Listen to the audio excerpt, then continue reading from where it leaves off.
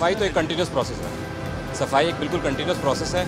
इसको ये नहीं कहना चाहिए कि आज हम सफ़ाई मुहिम बना रहे हैं, या दस दिन की सफ़ाई मुहिम हो रही है, नब्बे रोज़ा सफ़ाई मुहिम हो रही है।